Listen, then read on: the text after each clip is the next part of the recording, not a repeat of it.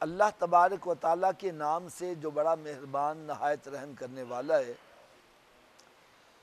ارشاد رب العالمین ہوتا ہے، اے ایمان والو، صبر اور نماز سے مدد چاہو۔ بے شک اللہ تعالیٰ صبر کرنے والوں کے ساتھ ہے۔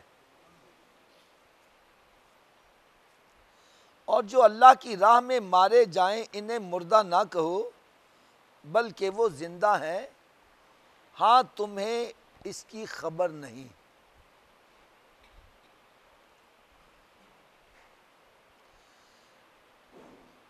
پیاری اسلام بھائیو، شہادت کا ذکر کرنے سے پہلے اللہ رب العزت نے ایمان والوں کو دو باتوں کی تاکید فرمائی ہے۔ میں ایک بات عرض کرنی ضروری سمجھوں گا۔ جو تاریخ ہوتی ہے نا، تاریخ، یہ ایک جیسی ایک جیسی نہیں ہوتی۔ پاکستان کی تاریخ ایک ہندو لکھے گا اور ہوگی۔ ایک عیسائی لکھے گا اور ہوگی۔ مسلمان لکھے گا اور ہوگی۔ تاریخ تبدیل ہوں گی،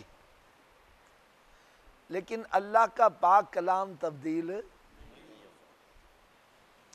جو اپنے عقائد کی بنیاد تاریخی واقعات پر رکھتے ہیں، وہ گمراہ ہو جاتے ہیں۔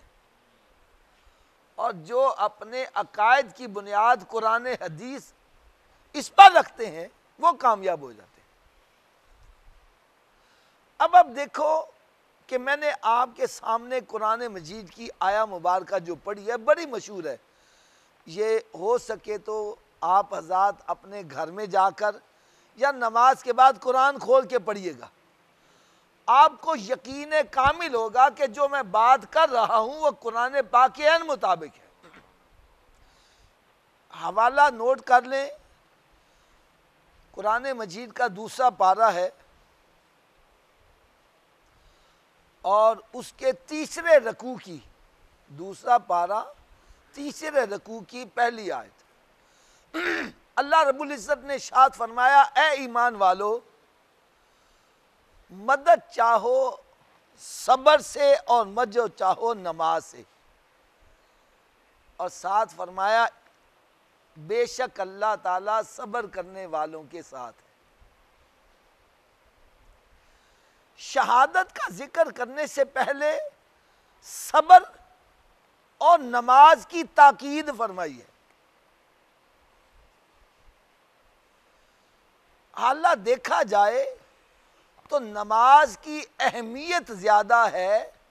نماز کا ذکر پہلے آنا چاہیے تھا، صبر کا بعد میں آنا چاہیے۔ لیکن اللہ تعالیٰ نے صبر کا ذکر پہلے فرمایا، نماز کا ذکر اس کی کیا وجہ ہے؟ علماء کرام نے فرمایا کہ صبر کا ذکر پہلے اس لیے فرمایا کہ صبر عبادت کی جان ہے۔ صبر ہوگا تو نماز بھی ہے۔ صبر ہوگا تو روزہ بھی ہے۔ صبر ہوگا تو زکوٰۃ بھی ہے۔ صبر ہوگا تو حج بھی ہے۔ بے صبری کے عالم میں نماز پڑھی ہے۔ حدیث مبارکہ میں اس کا نقشہ کھینچا گیا ہے کہ ایک بندہ نماز کا وقت ہو جاتا ہے، بیٹھا ہوا انتظار کر رہا تھا وہ پڑھ لیں گے، بڑا ٹائم پڑا ہے، پڑھ لیں گے، بڑا ٹائم پڑا ہے۔ اور جب دیکھتا ہے، ٹائم بالکل تھوڑا رہ گیا ہے، جلدی جلدی بھاگا آتا ہے، وضو کرتا ہے۔ وضو بھی پتہ نہیں جلدی میں صحیح ہوتا ہے کہ نہیں ہوتا، اور پھر آ کے جلدی جلدی ٹھونگے مارتا ہے۔ ایسے سجدہ کا جلدی جلدی جلدی ٹھونگے مار کے بھاگ جاتا ہے۔ فرمایا، اس کی نماز قیامت کے روز اس کے منہ پر مار دی جائے گی۔ بے صبری کے عالم میں نماز پڑھی ہے۔ اسی طرح روزہ رکھا ہے۔ بے صبرہ ہو گیا ہے۔ اوئے، آج تے روزے نے کڑاکے کڑوا دیتے نے۔ تو بڑی گرمی ہے یار، میں تے بھول کے روزہ رکھ بیٹھا۔ میرے تے پیو دی بھی توبہ۔ روزہ رکھا ہوا ہے۔ بے صبری کا مظاہرہ کر رہا ہے، روزہ ہو جائے گا اس کا۔ زکات دے دی۔ اوے میں تے پیسے دے کے یار، ایسے بس آ گیا تھا، پیچھے ہی پڑ گیا۔ میں تو یار، بڑا ہی نقصان اٹھا بیٹھا۔ بے صبرہ ہو گیا۔ اور یار زکات دیتی ہے، رب نے وعدہ کی سی، میں دواں گا، اور دیتا ہی نہیں، بے صبرہ ہو گیا۔ حج کر کیا، بے صبرہ ہو گیا۔ حج کے اندر بھی صبر کا مظاہرہ کرنا پڑتا ہے۔ بے صبری کے عالم میں حج بھی کرو گے تو وہ بھی قبول نہیں۔ حج کر لیا یار میں تے بھول کے ہی آ گیا وہاں ڈا مشکل آج میرے میں تے بچیاں نے بھی کہہ گیا آئندہ ادھر نہ کدی وڑنا آپ کا کیا خیال ہے اس کا حج قبول ہو جائے گا تو صبر کا ذکر پہلے فرمایا ہے اور نماز کا ذکر بعد میں فرمایا اور ساتھ ہی رب تعالیٰ نے فرما دیا، ان اللہ ما صابرین. اللہ تعالیٰ کن کے ساتھ ہے؟ یہ میرا فیصلہ نہیں، یہ قرآن کا فیصلہ ہے۔ اللہ تعالیٰ کن کے ساتھ ہے؟ تھوڑا سا اونچی آواز سے بولو۔ اب میں معذرت کے ساتھ ایک بات عرض کروں گا۔ شہادت کا ذکر صبر سے کون کرتا ہے، بے صبری سے کون کرتا ہے؟ شہادت کا ذکر کرتے ہوئے صبر اور نماز کی کون پابندی کرتا ہے؟ اور بے صبرہ کون ہو رہا ہے؟ اور نماز کی پابندی کون نہیں کر رہا؟ یہ آپ کی آنکھوں کے سامنے ہے۔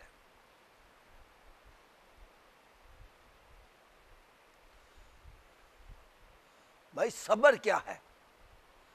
صبر کس کو کہتے ہیں؟ میں آپ کو مثال دے دیتا ہوں۔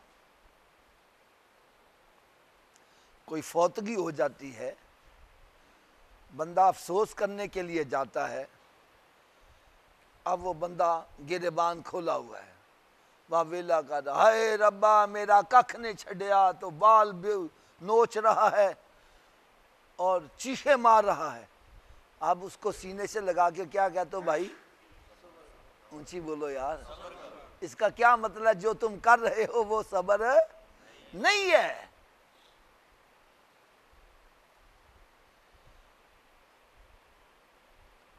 انسان کی زندگی میں صدا وقت ایک سا نہیں رہتا۔ خوشی اور غم آتے رہتے ہیں۔ اللہ تعالیٰ انسان کو خوشی دے کے بھی آزماتا ہے اور غم دے کر بھی آزماتا ہے۔ کامیاب انسان وہی ہے جو خوشی ملے یا غم ملے، نبی پاک صلی اللہ علیہ وسلم کا دامن نہ چھوڑے، حدوں کو نہ توڑے۔ ہمارے ہاں عموماً ہوتا یہ ہے، خوشی مل جائے تو شراب پی جا رہی ہے۔ ناچ گانا مجرے کیے جا رہے ہیں، عیاشی فحاشی کی جا رہی ہے۔ بھائی یہ کیا کر رہے ہو؟ او حافظ جی آج خوشی، آج سب جائز ہے۔ سب جائز کیسے ہو گیا؟ حلال حلال ہی ہے، حرام۔ جائز کیسے ہو گیا؟ غم آ جائے تب بھی بے صبرے ہو جاتے ہیں۔ ہائے ربا، ساڈا تو ککھ نہیں چھڑیا تین ساڈا ہی گھر لبیا سی۔ ساڈے تے ظلم کر دیتا معاذ اللہ، کفریہ کلمات تک بکتے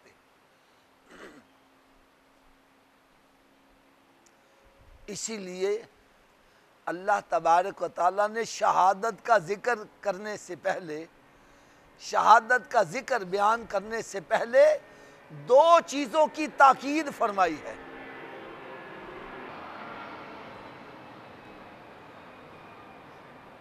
نمبر ایک استعینو بصبر صبر سے مدد چاہو وصلاح اور پھر فرمایا نماز سے مدد چاہو۔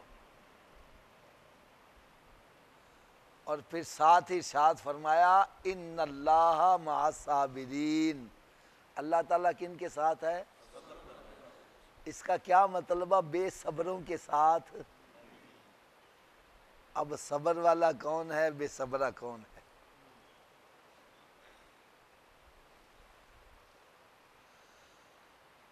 اب آگے دیکھو اللہ تبارک و تعالیٰ نے شاد فرمایا،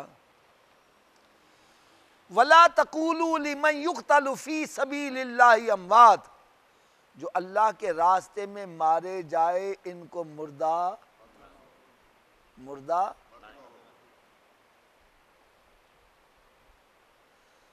جو اللہ کے راستے میں مارے جائیں، ان کو مردہ کہنے پر پابندی ہے۔ کیا ہے؟ اچھا ایک بندے کے جسم کے ٹکڑے ٹکڑے ہو گئے۔ اب اس کو مردہ کہنے پر پابندی ہے۔ ذہن میں مردہ سوچ لے۔ اللہ تعالیٰ نے ذہن پر بھی پابندی لگا دی۔ سوچ پر بھی پابندی لگا دی۔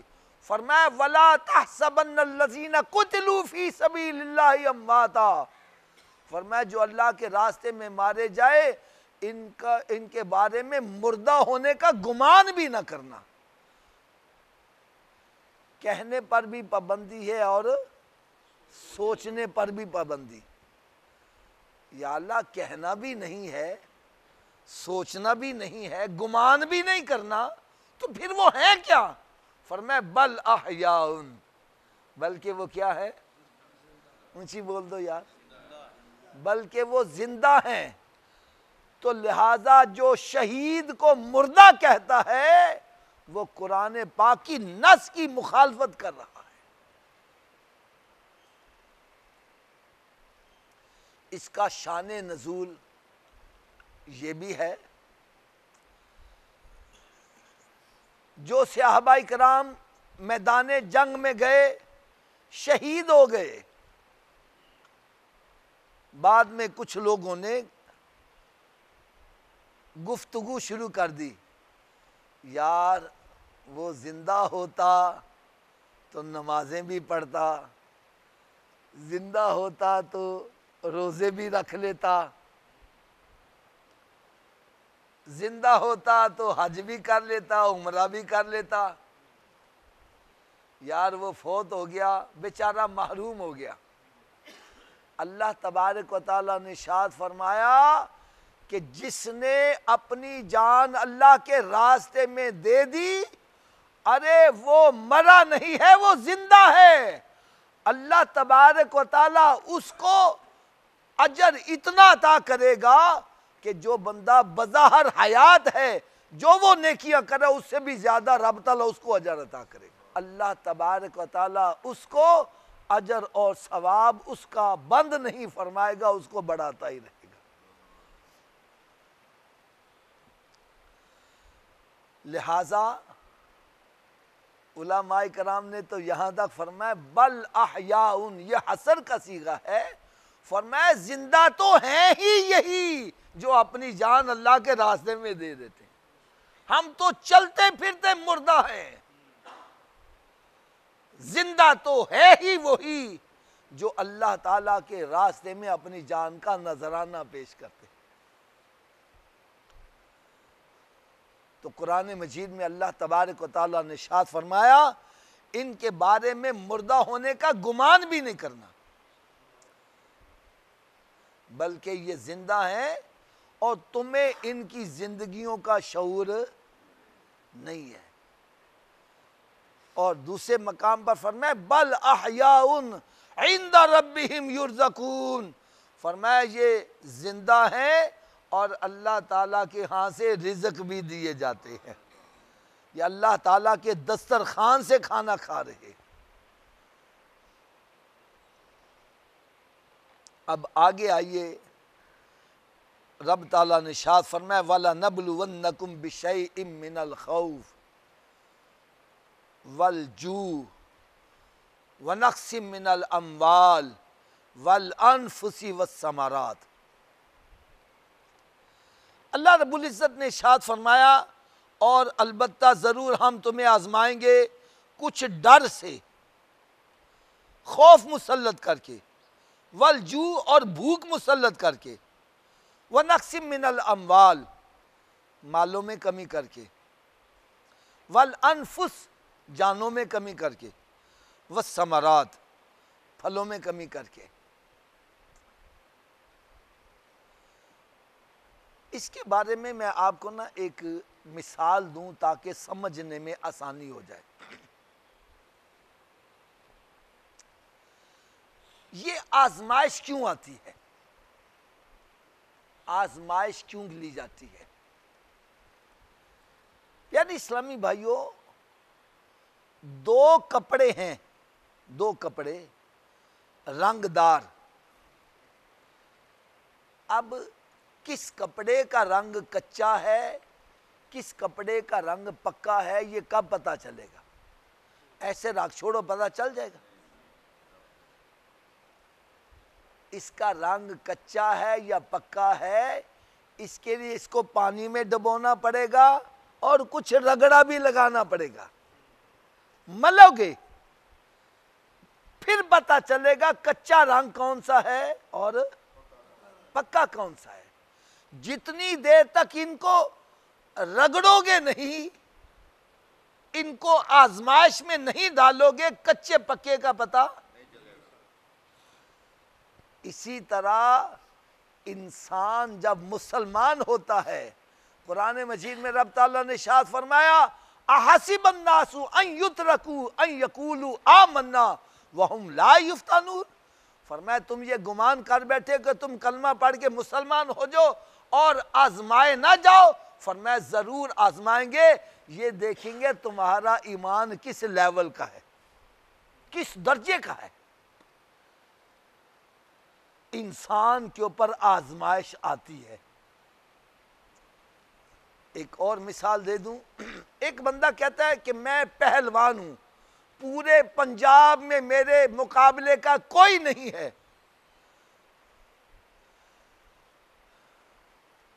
اب اس نے یہ جو دعویٰ کیا ہے، یہ دعویٰ کرنا ہی کافی ہے۔ ہم کہیں گے، بھائی اگر تو نے دعویٰ کیا تو آؤ میدان میں کشتی کرو۔ وہ کشتی کرے گا، آزمائش سے گزرے گا۔ اگر کامیاب ہو گیا، پھر پتا چلے گا واقعی پنجاب میں یہ ٹاپ ہے۔ اور اگر امتحان میں جاتا ہے تو سارے مضامین میں سپلی آ جاتی ہے۔ دعویٰ کرتا ہے کہ میں نے پنجاب میں ٹاپ کرنا ہے۔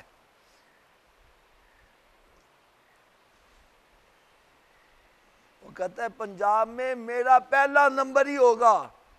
ہم کہیں گے بھائی ٹھیک ہے، آ جا، پھر امتحان دے۔ امتحان کے پراست سے گزرے گا، پھر پتا چلے گا یہ کس لیول کا ہے۔ اسی طریقے سے جب اللہ تبارک و تعالیٰ کی طرف سے آزمائش آتی ہے، تو اللہ تبارک و تعالیٰ بندے کو آزماتا ہے۔ جس طرح بچہ تیاری کرتا ہے میٹرک کی تیاری کرتا ہے یا ایف اے کی کرتا ہے یا بی اے کی تیاری کرتا ہے، تو اس کے کچھ سبجیکٹس ہوتے ہیں، مضامین ہوتے ہیں۔ اردو ہو گیا، انگلش ہو گیا، میتھ ہو گیا، فزکس ہو گیا، کیمسٹری ہو گیا، باٹنی، زیالوجی، یہ امتحانات ہیں۔ جو بندہ کہتا ہے کہ بھائی میں نے ٹاپ کرنا ہم کہتے ہیں آؤ بھائی امتحان میں۔ اپیئر ہو یہ یہ پیپر ہیں، یہ سلیبس ہے اس میں تیرا امتحان لیا جائے گا۔ جب تیاری ہو جاتی ہے تو پھر ڈیٹ شیٹ آتی ہے۔ بڑے غور سے سننے والی بات ہے۔ یکم تاریخ کو انگلش کا پیپر ہوگا۔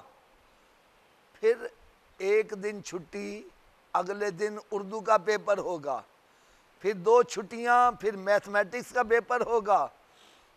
پھر اگر چھٹی نہ بھی کوئی ہو، کم از کم بیچ میں ایک دن کا یعنی چوبیس گھنٹے کا تو وقفہ ہوتا ہے۔ آج یہ پیپر ہے، اگلے دن جناب فزکس کا پیپر ہے۔ یہ پیپر لیے جاتے ہیں۔ یہ درمیان میں چھٹی یا گیپ کیوں رکھا جاتا ہے؟ ایک پیپر دے لیا ہے تو اگلے پیپر کی تیاری کر سکے۔ ایسا ہی ہے نا جی؟ ایک بندہ بڑا قابل ہے۔ اس کو اگر سارے پیپر ہی کٹھے دے دیے جائیں، تو کوئی کوئی کا مائی کا لال ہوگا جو سارے پیپروں کو ایک مرتبہ ہی حل کر دے۔ اسی طرح رب تعالی نے بھی سلیبس بتلا دیا۔ وَلَنَبْلُوَنَّكُمْ بِشَيْءٍ مِّنَ الْخَوْفِ۔ البتہ تحقیق میں تمہیں ضرور آزماؤں گا۔ میرے پیپر کون کون سی ہیں؟ فرمایا پہلا پیپر میرا خوف کا ہے۔ کون سا ہے؟ والجو بھوک اور پیاس۔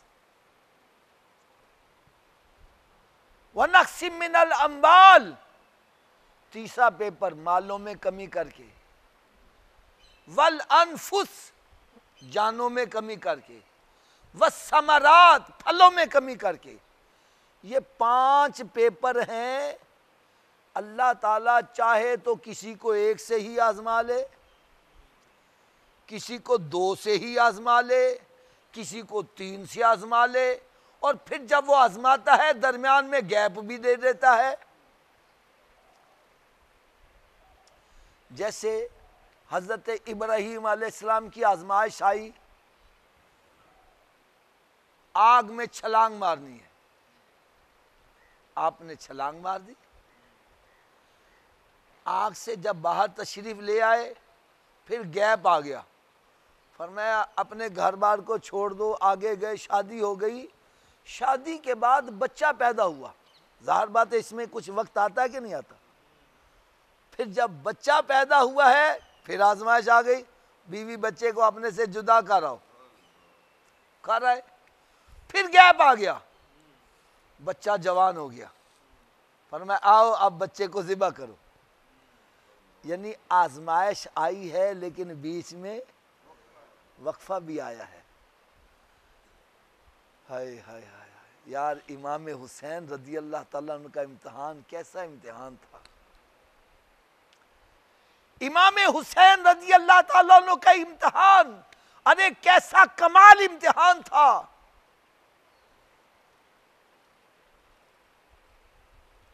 وہاں تو وقفے دیے جا رہے ہیں، کسی کو ایک پیپر میں آزمایا جا رہا ہے، کسی کو دو میں، کسی کو تین میں۔ حضرت امام علی مقام امام حسین رضی اللہ تعالیٰ نو وہ ہستی ہیں جن کو پانچوں پیپر سے بیک وقت ازمایا جا رہا ہے۔ فرمایا، پانچوں پیپر تمہیں دیے جا رہے ہیں۔ امتحان گاہ بھی تبدیل نہیں ہوگی، میدان کربلا ہی ہے۔ اور وقت بھی زیادہ نہیں۔ صبح سورج نکلے گا، دوپہر کے زوال سے پہلے پہلے یہ سارے پیپر حل کرنے ہیں۔ اب دیکھو، خود آزماؤ، جیسے میں نے بتلایا کہ جب ہم قرآن پڑھتے ہیں، ہمیں یوں لگتا ہے، یار یہ میرے لیے آیت اتری ہے، اللہ یہ اتری کب سے ہے؟ اسی طرح واقعہ کربلا تو بعد میں ہوا، لیکن آپ دیکھو، میں منظر آپ کے سامنے پیش کروں گا، آپ یہی سمجھو گے، واقعی یہ آیت امام حسین کے لیے اتری۔ ہم تمہیں آزمائیں گے کچھ خوف سے۔ اب خوف کا امتحان بھی اسی میدان میں ہے۔ ایک طرف چند نفوس قدسیہ ہے اور دوسری طرف یزیدی فوج کا لشکر ہے۔ خوف مسلط کر دیا ہے۔ اب بھی یہ ثابت قدم رہتا ہے یا قائم رہتا ہے؟ یا ڈاما ڈول ہو جاتا ہے۔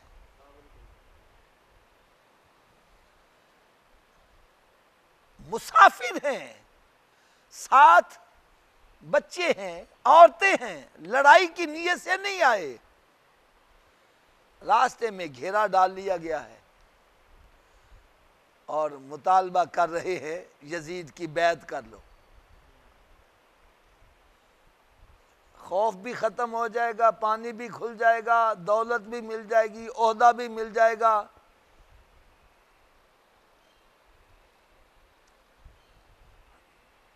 آپ جس موقع پر ڈٹے ہوئے ہیں، خوف مسلط کر کے دیکھا جا رہا ہے۔ ثابت قدم رہتے ہیں کہ ڈاما ڈول ہو جاتے ہیں۔ ولجو، بھوک اور پیاس کا یہ عالم ہے۔ تین دن ہو گئے خیمے کے اندر پانی کی بوند نہیں جا سکی۔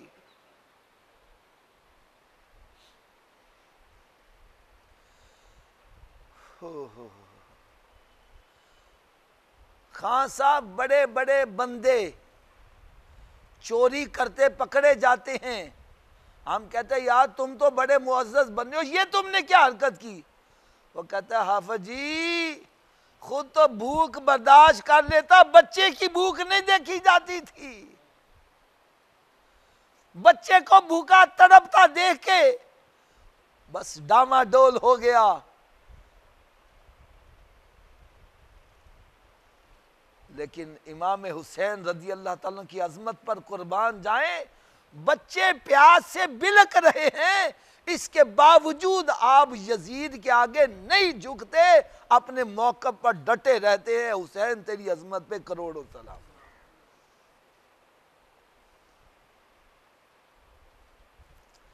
ورنہ بچے کی پیاس دیکھ کے بھلے بھلے بندے، اس کی بھوک دیکھ کے بھلے بھلے بندے اپنی ہمدردیاں چینج کر لیتے۔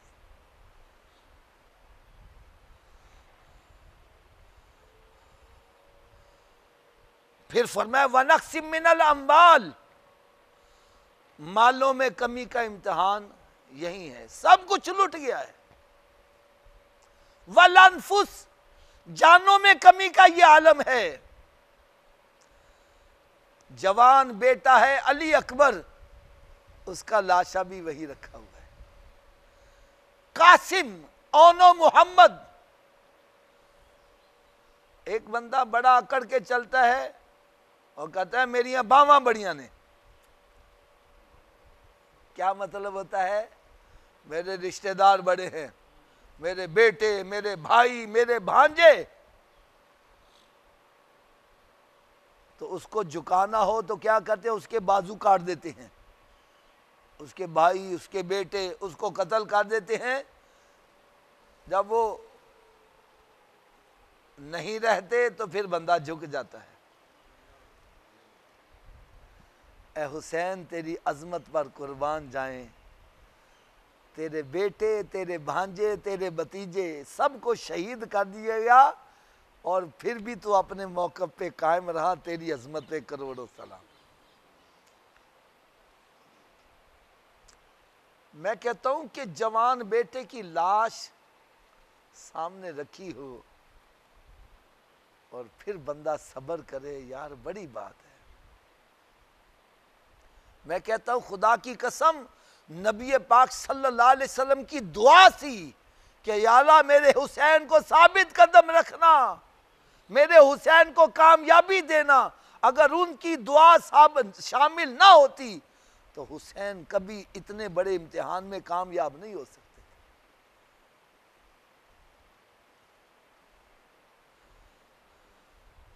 یار، تھوڑا سا میں ایک اشارہ کر دوں آپ کو۔ ابھی ہمارے یہاں باہر چوک میں کوئی بندہ فائر کر دے، فائر کر دے، ہوائی فائر ہی کر دے، ہم اپنے بچوں کو اندر، نہ بیٹا باہر نہ نکلی، گولی نہ کہیں لگ جائے، بیٹا باہر نہ جائیں۔ یار، ادھر ہوائی فائر کیا جائے، ہم بچوں کو اندر کر لیتے ہیں باہر نہیں نکلنے دیتے۔ او حسین تیری عظمت پر قربان جائے، اپنے بچوں کو تیار کر کے بھیج رہا ہے وہاں، جہاں سے تھوڑی دیر کے بعد لاشا ہی اٹھا کے لانا پڑے گا۔ خدا کی قسم، یہ عام بندے کا کام نہیں ہے۔ خود بچے کو تیار کر کے بھیج رہا ہے۔ علی اکبر تیار ہو کے جا رہا ہے۔ باپ خود بیچ رہا ہے۔ اور تھوڑی دیر کے بعد آواز آتی ہے، حسین، اپنے بیٹے کا لاشا اٹھا کے لے جاؤ۔ حضرت امام علی مقام، امام حسین رضی اللہ تعالیٰ نے یار، بوڑھا باپ بیٹے کا لاشا اٹھا رہا ہے۔ ہاتھ اٹھاتا ہے، پاؤں نیچے گر رہا ہے، پاؤں سنبھالتا ہے، ہاتھ گر رہا ہے۔ اور لاشے کو لا کر خیمے کے اندر رکھتا ہے اور دوسرے بچے کو پھر تیار کر کے بیچ رہا ہے۔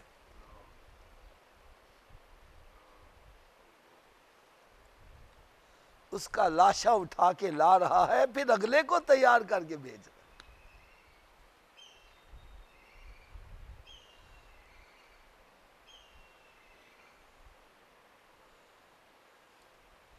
جانوں میں کمی کا امتحان بھی یہی ہے۔ وہ سمرات پھلوں میں کمی کا امتحان۔ وہ بھی اسی میدان میں ہے۔ پھلوں میں کمی کا امتحان کیا؟ چھوٹا بچہ گود کا پھل ہوتا ہے۔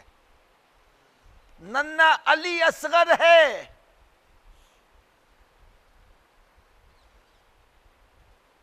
پیاس سے تڑپ رہا ہے۔ امام علی مقام، امام حسین رضی اللہ تعالیٰ نو اس بچے کو اٹھا کر لے کے جاتے ہیں اور یزیدیوں سے کہتے ہیں، تمہاری دشمنی میرے ساتھ ہے، اس بچے نے تمہارا کیا بگاڑا ہے؟ اس کو پانی کیوں نہیں دے رہے؟ وہ کہتے ہیں، حسین، پانی بڑا ہے۔ تمہارے لیے، تمہارے بچوں کے لیے، تمہارے جانوروں کے لیے بڑا ہے۔ لیکن شرط یہ ہے کہ یزید کی بیعت کر لو۔ ہو ہو ہو حضرت امام علی مقام امام حسین رضی اللہ تعالیٰ عنہ نے اپنے بچے کی طرف دیکھا ہوگا کہ بیٹا یہ کیا کہہ رہے ہیں۔ اتنے میں ایک بدبخت کا تیر آ کر علی اصغر کے حلق میں لگا ہے۔ اور وہ شہادت کا جام نوش کر لیتا ہے۔ یعنی بچے نے اپنا سر باپ کے ساتھ لگا دیا کہ ابا مجھے تو منظور ہے، یزیر منظور نہیں ہے۔ گود کا پھل اس کا امتحان بھی یہی ہے۔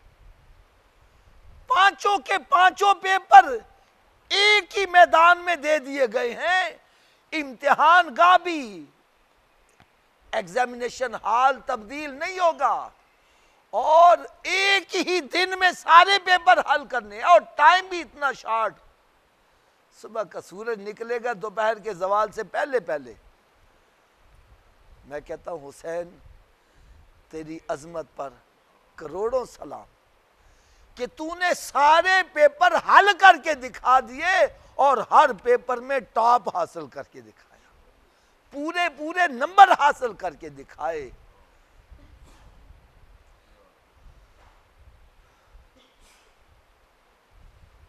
آخر میں جب آپ میدان کربلا میں تشریف لاتے ہیں، آپ نے خطبہ ارشاد فرمایا ہے۔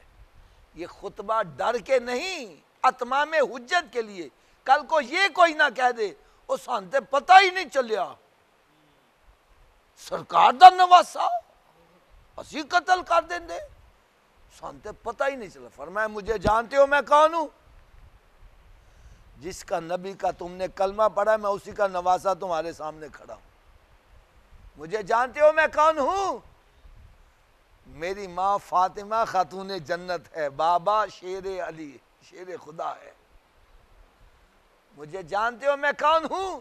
ارے میں وہی ہوں جس کی خاطر سرکار دو عالم صلی اللہ علیہ وسلم اپنے سجدے طویل کر دیا کرتے تھے۔ ارے میں وہی ہوں جس کی خاطر جنت سے جوڑے منگوائے جاتے تھے۔ ارے میں وہی ہوں جس کو سرکار صلی اللہ علیہ وسلم اپنے کندھوں پر سوار کیا کرتے میں وہی ہوں جس کے لیے سرکار نے فرمایا حسین مجھ سے ہے، میں حسین سے ہوں۔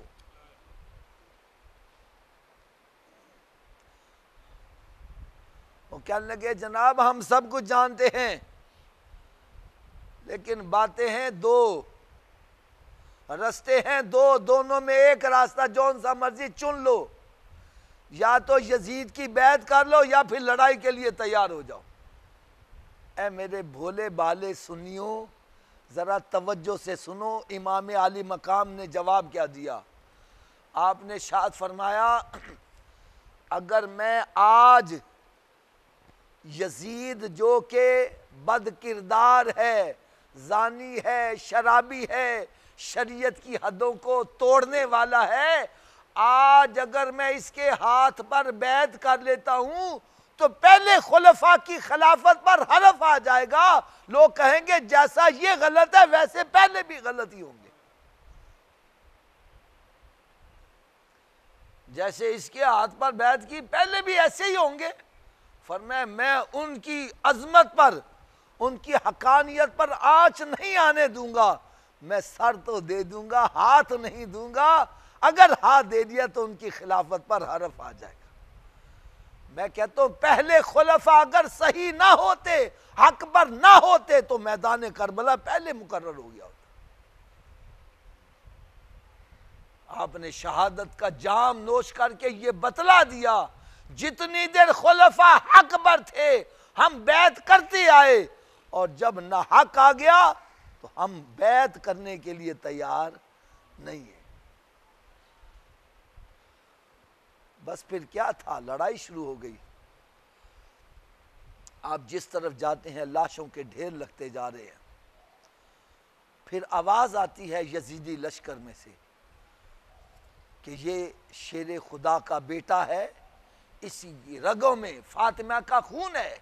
یہ ایسے نہیں قابو آئے گا۔ ہر طرف سے تیروں کی بوچھاڑ کرو۔ بس پھر تیر برسائے گئے ہیں۔ وہ نازک بدن جو میرے آقا صلی اللہ علیہ وسلم کے جسم اطہر سے مس کیا کرتا تھا، آج اس کو تیروں میں پرویا جا رہا ہے۔ آپ زخموں سے چور زمین پر تشریف لاتے ہیں۔ شمر بدبخت چاہتا ہے کہ میں جلدی سے ان کا سر کاٹ کے دنیا کا ذلیل انعام حاصل کر لوں۔ فرماتے ہیں، خنجر سے آپ کا حلق کاٹنا چاہتا ہے تو حلق پر خنجر چلتا نہیں ہے۔ آپ نے فرمایا، بدبخت، تو اس جگہ خنجر چلا رہا ہے جہاں سونے آقا بوسے دیا کرتے تھے۔ کہنے لگا، حسین، تیری کوئی آخری خواہش ہے؟ فرمایا ہاں مجھے دو رکعت نفل پڑھنے کی اجازت مل جائے۔ اس حالت میں بھی آپ نے نماز نہیں چھوڑی۔ ارے، کربلا کی تبتی ہوئی ریت اور پھر تلواروں کے سائے تیر برس رہے ہیں اور پھر بھی نماز نہیں چھوڑی جا رہی۔ میں کہتا ہوں، جو بندہ نماز نہیں پڑھتا، وہ امام حسین کے نقش قدم پر نہیں چل رہا، وہ ان کے مشن سے غداری کر رہا ہے۔ آپ سجدے میں تشریف لے جاتے ہیں۔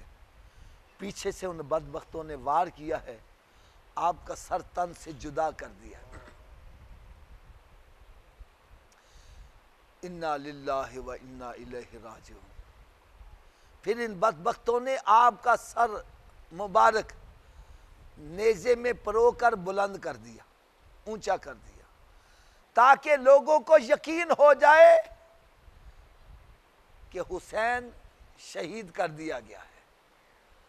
اور لوگوں کو پتہ چل جائے کہ حسین ہار گیا ہے، یزید جیت گیا ہے۔ اس لیے بلند کیا ہے۔ لیکن ہارا کون ہے، جیتا کون ہے؟ میں آپ کے سامنے فیصلہ رکھ دیتا ہوں۔ یہ ایک میری اینک ہے۔ میں کہتا ہوں میری ہے۔ صوفی صاحب کہتے ہیں میری ہے۔ ہماری دونوں میں آپس میں لڑائی ہوتی ہے۔ جو اینک لے گیا وہ جیت گیا، جو نہ لے جا سکا وہ۔ اونچی بولو۔ اور بھائی میدان کربلا میں لڑائی کیا تھی؟ کوئی جائیداد کا جھگڑا تھا؟ صرف ایک ہی تھا۔ یزید کہتا تھا، بیعت کر لو۔ آپ نے فرمایا، میں نے بیعت۔ یزید نے اپنی بات منوانے کے لیے پانی بند کر دیا، بچوں کو شہید کر دیا، خوف مسلط کر دیا، ظلم و ستم کی اخیر کر دی۔ اگر امام علی مقام، امام حسین رضی اللہ تعالیٰ نو یزید کی بیعت کر لیتے تو واقعی یزید جیت گیا ہوتا، حسین ہار گیا ہوتا۔ لیکن تاریخ گواہ ہے۔ آپ نے یزید کی بیعت اونچی بولو۔ یزید کی بیعت اس سے پتا چلا کہ یزید سارے ظلم و ستم کر کے، ساری فورس لگا کے بھی ہار گیا ہے اور حسین سب کچھ لٹا کے بھی جیت گیا ہے۔ انہوں نے تو آپ کا سر کاٹ کے نیزے پہ بلند کیا ہے۔ دیکھنے والے کہتے ہیں، بھائی، سر بلند اسی کا ہوتا ہے جو کامیاب ہوتا ہے۔ دیکھو میدان کربلا میں سر بلند کس کا ہے؟ ارے، وہ حسین کا ہے۔ آج بھی بلند ہے اور قیامت تک بلند رہے گا۔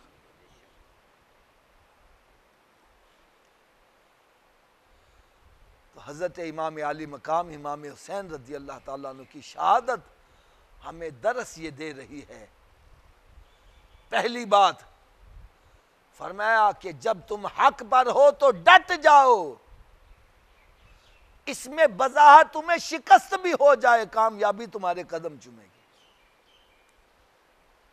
اور دوسرا، درس آپ کا، صبر اور نماز کا دامن ہاتھ سے یہ نہیں گھر میں کوئی بیماری آ جائے تو نماز چھوڑ دو۔ قیامت کے روز امام حسین رضی اللہ تعالیٰ عنہ کی مثال دی گئی۔ بندہ کہے گا جی میرے گھر میں بیماری تھی مجھے تو خوف تھا۔ بندہ کہے گا کہ جناب ہمارے گھر میں تو فوتگی ہو گئی تھی۔ ارے جب امام حسین کی مثال پیش کی، کیا عذر پیش کر سکتے؟ یہاں بیماری بھی ہے، بھوک بھی ہے، پیاس بھی ہے اور لاشوں کا ڈھیر بھی لگا ہوا ہے۔ پھر بھی خیمے سے اذان کی آوازیں آ رہی ہیں، نماز ادا ہو رہی ہے، نماز قضا نہیں ہو رہی۔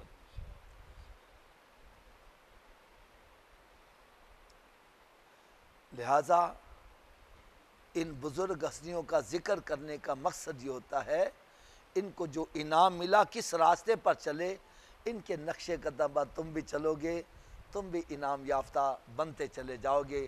اللہ تعالیٰ سے دعا ہے کہ اللہ تعالیٰ ہم سب کو ان نفوس قدسیہ کے نقش قدم پر چلنے کی توفیق عطا